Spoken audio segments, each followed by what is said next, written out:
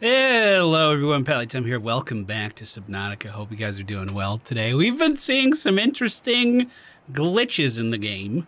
Last episode, the antennas on top of my Cyclops disappeared. Uh, well, more accurately, moved about 10 feet to the left and stayed there no matter where we traveled to. Uh, and then I got back to the base, right?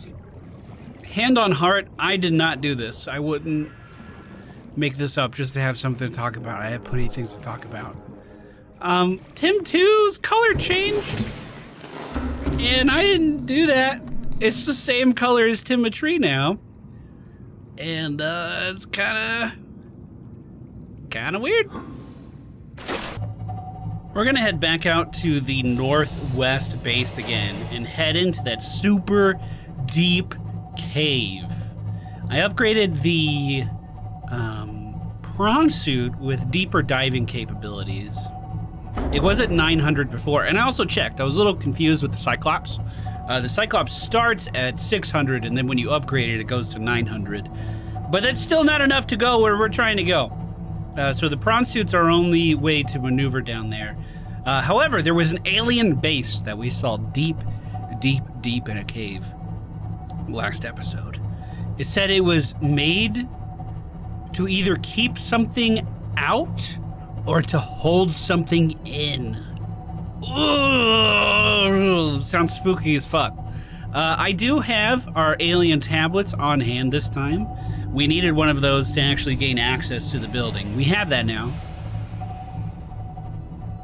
So uh, should should be a pretty easy trip down there. And there's one less ghost Leviathan for us to worry about. I swear the lights on this thing are useless. It just makes things I'm looking at more difficult to see. Northwestern base on the starboard side, which means the cave, even though I can't really see that well, is immediately underneath us. Swap over to the camera.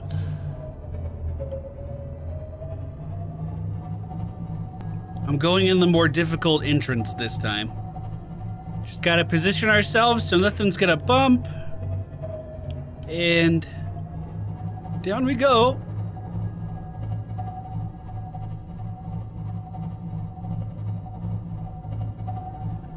Oh, I think I made a fucking mistake here, boys.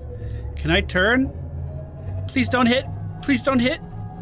Oh, we're hitting. Oh, shit.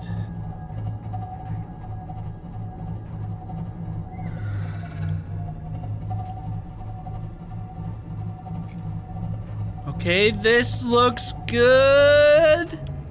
Take it down.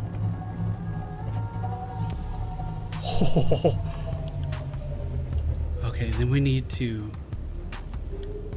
do a small circle out of here. The back hit a little bit, that's okay. We're still lowering. This was the second smaller entrance into the cave than we saw before. And I didn't really think I'd be able to pilot my way down, but I wanted to try. But hey, that wasn't half bad.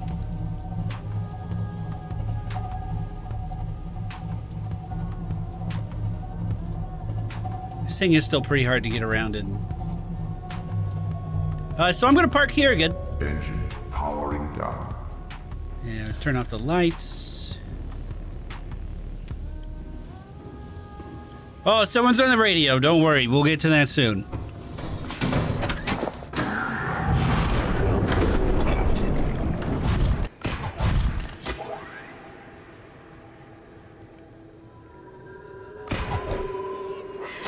Oh, I'm getting good. I'm getting good. Ah! Fuck yeah, dude. So first it's down the waterfall. Oh, big drop. Oh, huge drop.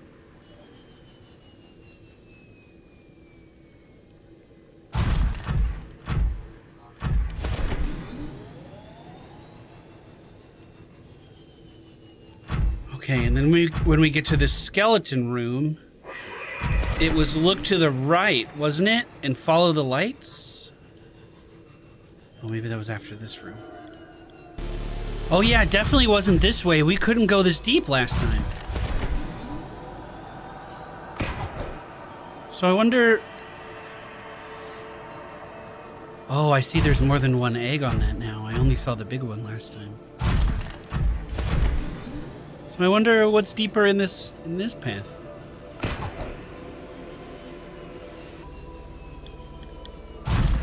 Just try to remember that that was east.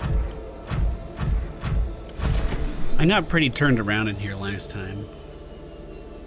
Oh, this looks like one of those same trees, but it the egg hatched maybe. Because it broke the tree around it. This music's really tense in here right now. Oh, thank you.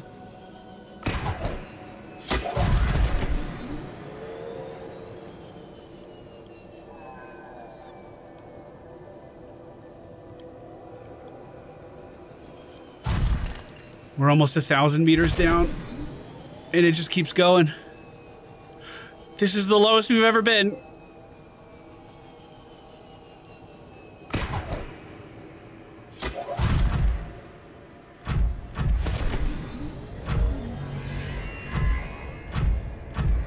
Hey, you teleporty motherfucker, teleport this! Get out of here! Wow, yeah, this is the lava biome. We just got a glimpse of this before, and it was at the bottom of a really big pit.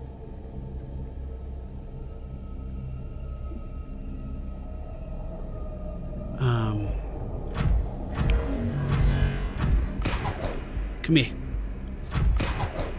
I think I'm just gonna go back up. gotcha! I don't I don't want to get lost down here. This is crazy deep.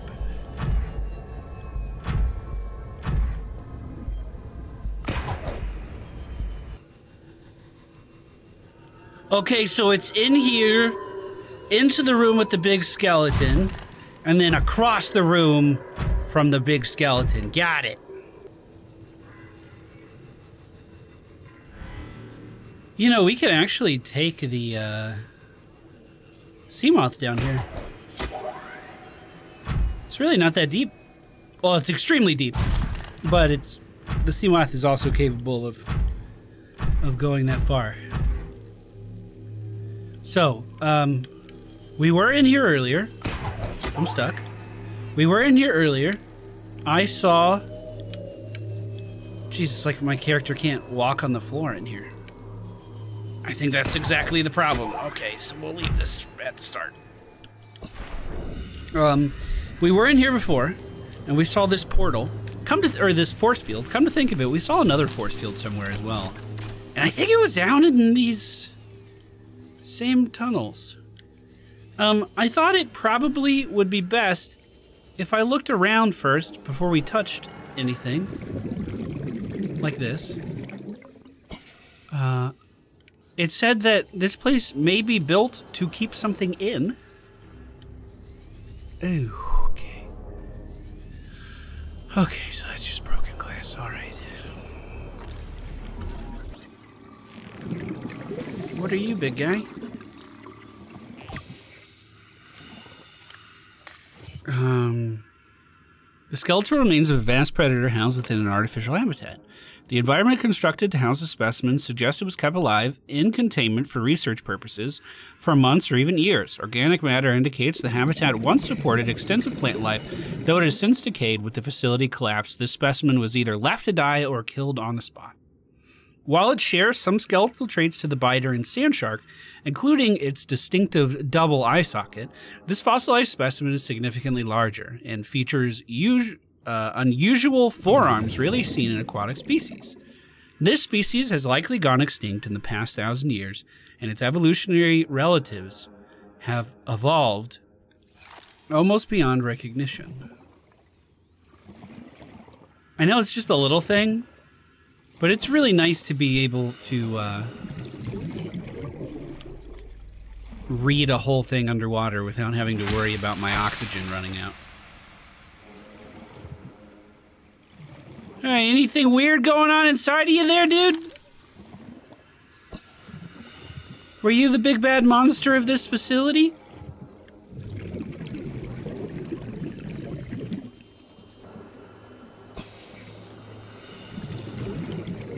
Residual biological evidence suggests indigenous life forms were brought to this location and subjected to intensive study. Oh my god. The fucking thing got ripped apart. Ugh.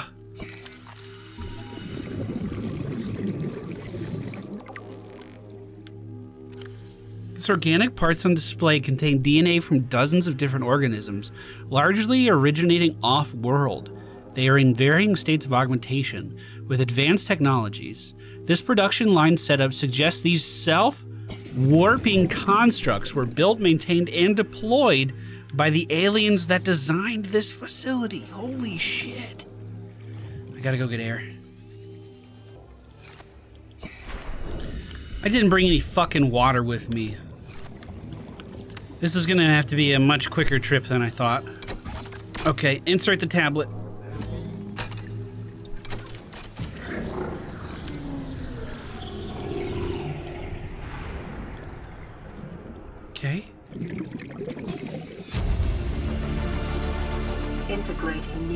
Data. Small herbivore gamma, leviathan embryos, large carnivore theta, unidentified leviathan, sea emperor, bone samples, emperor specimen.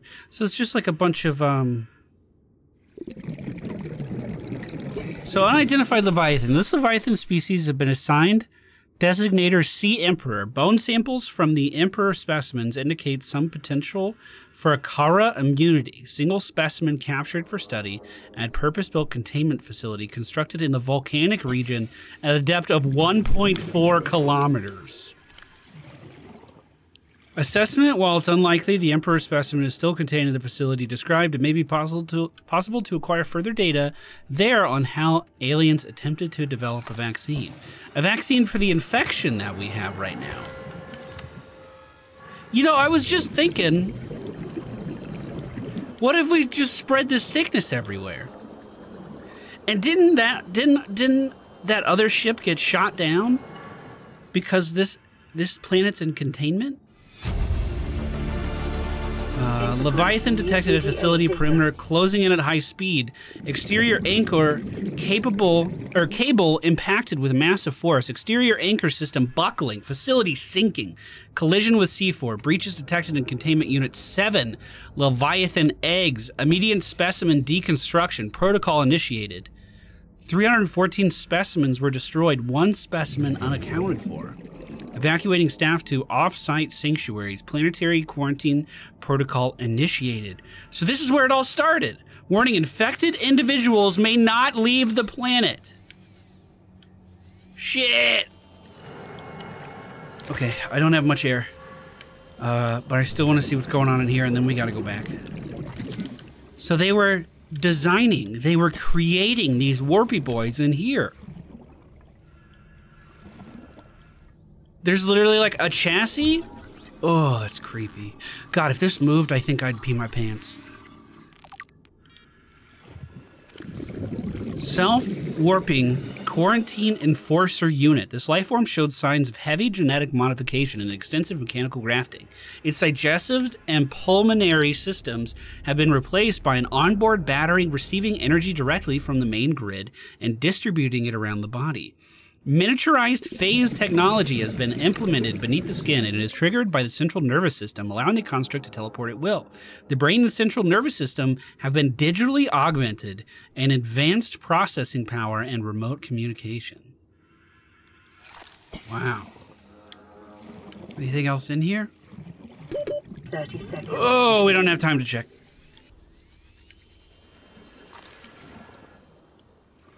Holy shit. There's just a bunch of tubes on the inside. It's one of its heads. Seek fluid intake. Uh, conveyor system. You have a production line. Did I not see this in the corner? Oh my god. Data pertaining to the bacterium is being downloaded. Caution. Detecting atypical fluctuations in blood plasma proteins. A self-scan is strongly advised. Okay. Self-scan complete. Bacterial infection has spread to the skin and pulmonary system. Medical report recorded to databank. It is imperative you find a way to neutralize the infection.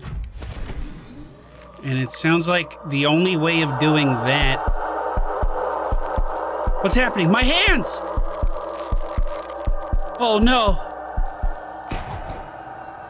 And it sounds like the only way to do that is to go even deeper here. Okay, we seriously gotta move. I'm running so low on water. Going thirsty in a game all about water. It's kind of ironic. Sailors die of thirst at sea, surrounded by water that they can't drink.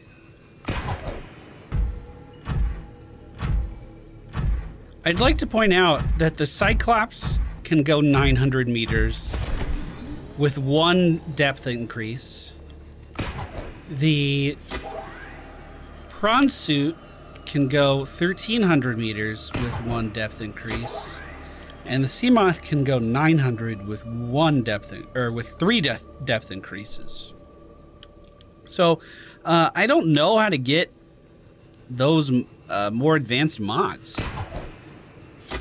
So I imagine we're gonna have to start doing some looking uh, into some deeper crash sites. Uh, just fluid intake yeah, I know. I'm trying. I'm trying. I'm seeking right now. I'm seeking so hard right now. Okay, I don't have time to park this thing right now. Let me on board. Let me on board. Welcome aboard. Hey, good to see you. Where are they? They don't have a. Oh, actually, they do have a ton of water. Wow, 14 water? Oh my god. stabilizing. What was that? Was that just the music kicking in? Uh, these plants are fucking great. These marble melons. And then when you're done with them, you just cut them and replant them again. And then by the time you're hungry, well, there's some more marble melons. Can't, can't eat these, but you get what I mean. Aboard, Captain. So I guess my objective is pretty clear now. If we're gonna get off this planet, not only do we need. Oh my god. Okay, thank you. I was gonna say, I just missed this jump by a fucking pixel. Not only are we gonna need to be able to go down into the depths, but we're also gonna need to craft that that rocket for us to leave. The rocket seems like it's going to be the easy part. I mean, that's just a few materials here and there. Oh, yeah, look at that turn. The difficult part is going to be figuring out how we can go 1.4 kilometers into the planet. Just don't hit the side and then it's not a problem.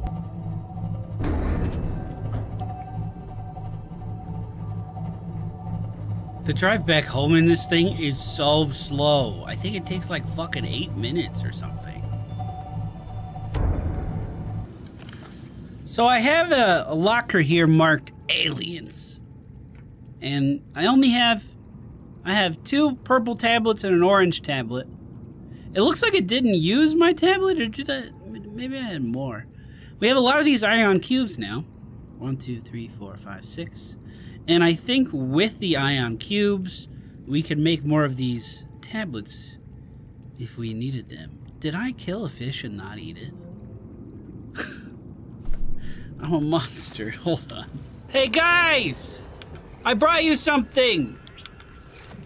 It's a rare delicacy. They're not normally this far up.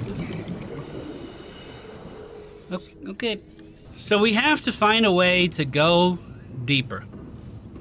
I think next episode we'll start knocking out some more radio missions. Maybe one of them will lead me in the right direction. Until then, thank you guys so much for watching. I hope you enjoyed today's episode. It was really neat to see that facility. That was really cool. I hope I didn't miss any more data down there. That would that would suck, but that would be very me. I also want to try to remember to go back to the second Degasi base. We can take the Seamoth. There was a base down in that cave that needed an orange tablet to open it. I want to make sure I remember to do that next time too. Take care, guys. Thank you so much for watching. See you next time.